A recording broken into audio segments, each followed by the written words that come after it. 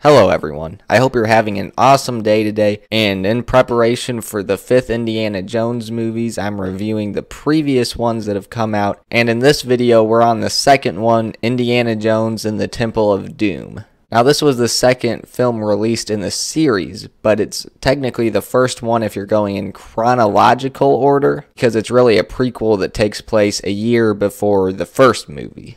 But if you haven't seen the movies, my recommendation would be to still watch them in release order. So watch Raiders of the Lost Ark first and then Temple of Doom. Mainly because I feel like Raiders of the Lost Ark is a better way to get introduced to the Indiana Jones character. But either way, it doesn't make a huge difference. So, anyways, let's get into the review. And I have mostly positive things to say about this film. Once again, like the other Indiana Jones movies, it has really good action and all of the actors do a great job. It's really entertaining and it's fun to watch all of these characters. Now, out of the original three movies, this is definitely the one that stands out because the other two movies focus more on the Holocaust era, but this one is set in Asia and has completely different villains because they set up this village that just needs these stones so they can afford water and you just really care what happens to them. It's just so wholesome. And then when you actually get into the Temple of Doom, you have the bad guys that are doing these weird human sacrifices, and you have the slave kids. All in all, that's what I really like about this film. And another thing that really makes this one stand out is that you have like the best trio in the world in this film. You have Indiana Jones himself, who's already a really entertaining character to watch and you have his sidekick, Shorty, little boy, and I have no clue where he came from or how he learned to drive, but that's the neat thing. Oh, and then of course we can't forget the blonde, whose name I forgot, but she was working as a dancer, and then she came with them, and so just the way they interact is really funny, because they all have completely different personalities, and that's what makes it so great.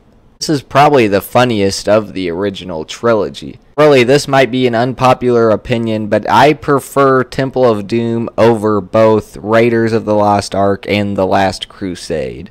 I just really like the simplistic story and our trio of characters it just all works and it's just such a fun adventure. And I didn't mention this in my Raiders of the Lost Ark review. I felt like in Temple of Doom and The Last Crusade, the story just flowed a little bit better than it did in Raiders because Raiders probably has my favorite plot, but the way it was kind of structured, something just felt a little bit off. Still, though, they're all great movies, and when I say Temple of Doom is my favorite, it's not by much. They are just very hard to rank. It's just such a good trilogy. Also, I think this film does really well visually, and it's really cool how they filmed it on three different continents. Now, there is one nitpick I kind of have about it at the very end when the bad guys are like falling off the cliff there was like some weird digital composting green screen stuff. It just looked kind of out of place because most of the Indiana Jones trilogy just uses practical effects. But of course, in that situation, you can't actually throw people off of cliffs and film it. I can't say I necessarily blame them. It was just kind of weird to look at.